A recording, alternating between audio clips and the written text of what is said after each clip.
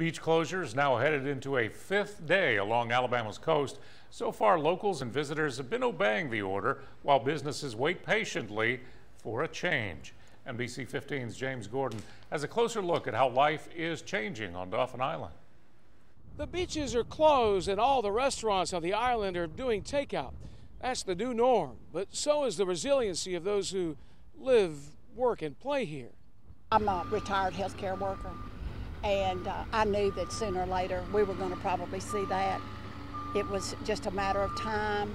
A matter of time for the beaches to close. It happened last week, and island businesses are keeping up and trying to survive.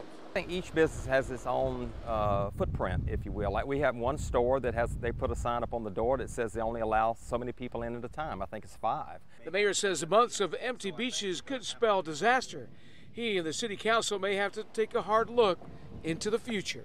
Our main focus is on health and safety, but we do have to be mindful of the, the flow of revenues and, and how to maintain the town's uh, you know, financial stability. But there's always a bright side, and it's right here in Teresa Ridgway's kitchen, where takeout has been the business model since 2018. So we didn't have to make that, you know, that transition from being a sit-down restaurant to a takeout restaurant because we've always been takeout. And as fate and luck would have it, an anonymous donor gave Teresa a good sum of money with the agreement that the takeout food would be delivered to seniors who were shut-ins and families who need it the most.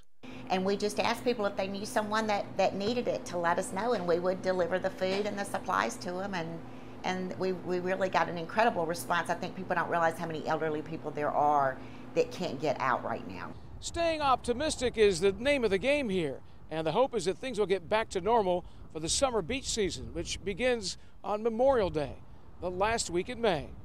On Dauphin Island, James Gordon, NBC 15 News.